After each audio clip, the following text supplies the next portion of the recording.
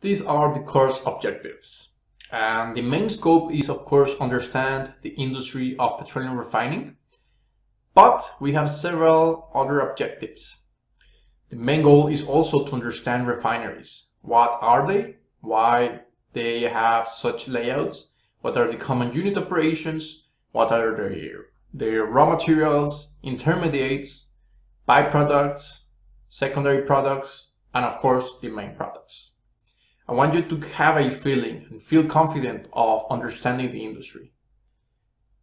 Then we are going to learn about the products. What are the crude oils? How do we characterize them? Why is it important to characterize them? How they are, let's say, preferred over others. For instance, why do we want low sulfur materials? Why do we want low metallic content? Why do we want high or rich olefin content? Why are we preferring light cuts over heavy cuts?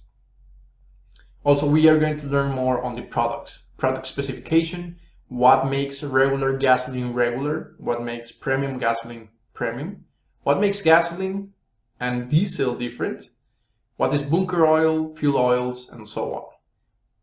Then we, I will say that the most important part of this is unit operations.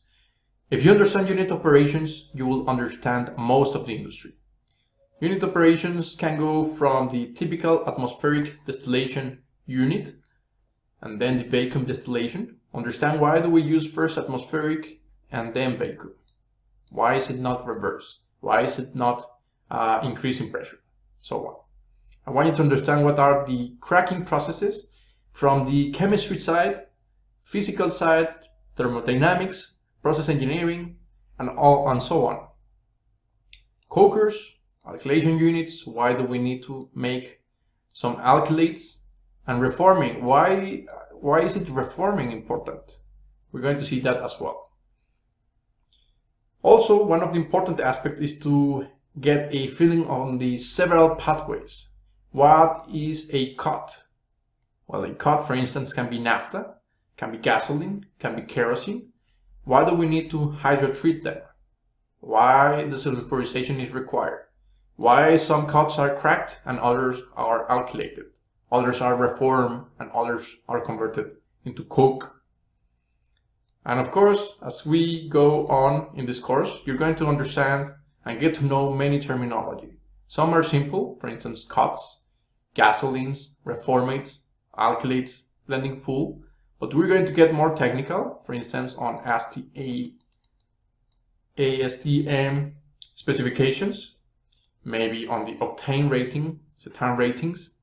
We're going to get more into the industry, the jargons. What do we use? Why do we use barrels? Why?